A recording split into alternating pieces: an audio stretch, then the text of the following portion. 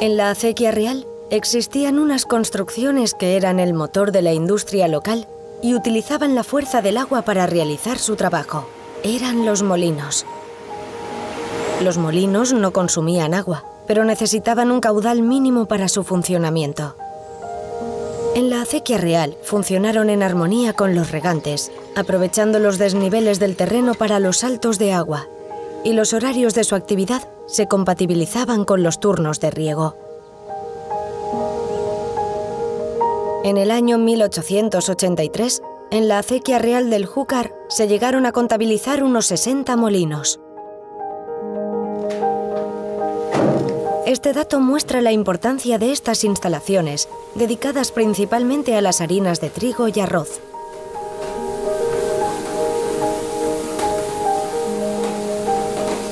En menor medida también realizaron otras funciones como cardar lana, serrar madera o abatanar paños, industria de gran importancia en la época.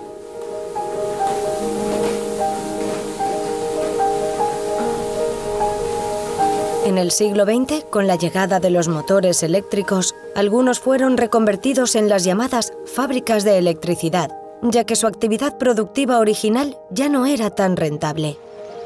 El avance de la tecnología y la falta de caudal continuo en los canales durante todo el año provocó la desaparición de los molinos y su actividad.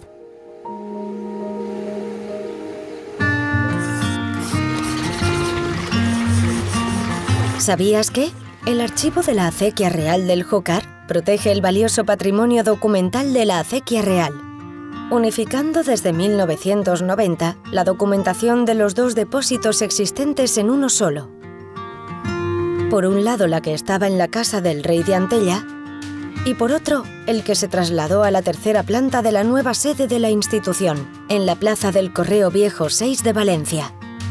El patrimonio documental de la acequia real del Júcar está integrado por aproximadamente 390 cajas, 1.700 legajos, libros, impresos, fotografías, mapas y planos.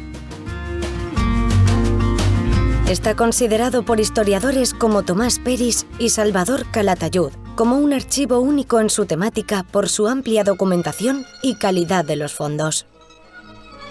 Abierto al público, ofrece servicios de reprografía y consulta. En su origen en el término municipal de Antella, la dotación de la acequia es de 34,5 metros cúbicos por segundo, caudal que irá disminuyendo con las sucesivas sangrías que las acequias secundarias producen en su curso.